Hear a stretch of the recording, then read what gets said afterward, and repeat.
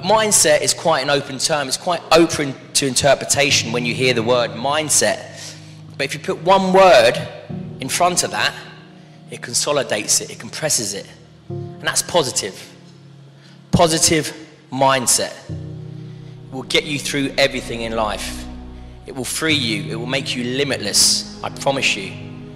If you are in a negative situation, in a bad situation, okay, and you take on a negative mindset, you will end up one way, and that's very, very quickly, and that's on a spiral down. You cannot tackle a negative situation with a negative mindset. It does not work.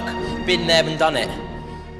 I've seen negative people take down teams, and I mean teams, very capable teams.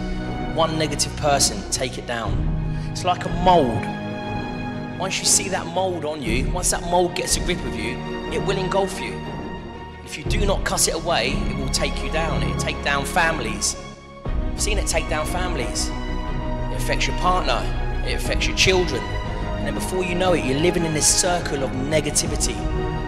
Subconsciously, you don't even realize you're in it. So no wonder you've got 10, 12, 11 year olds that say that suffer from anxiety and depression because they live in this bubble of negativity, in this circle of negativity. It's the norm for them.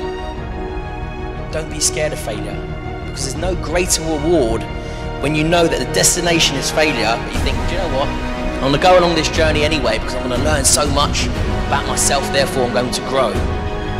There's no bigger um, reward than going along that journey and then halfway along that journey, that failure sort of glitters into success.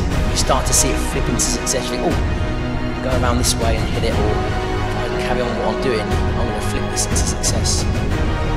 And you will not know that until you try, until you look failure in the face and go, do you know what? I'm going to take you on. You won't succeed every time, but I guarantee you you'll learn and I guarantee you you will grow and you will find out more about yourself. It's what we do before we walk out the door, we look in the mirror and go, oh, people might say this about me, this is my weakness this before we even leave the door.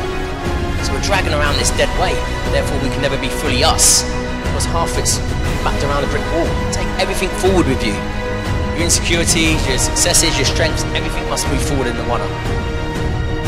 Tackle it with a positive mindset. Brutally honest yourself, positive mindset. It works. The only way you can do it, it will give you a new lease of life when you tackle everything with a positive mindset.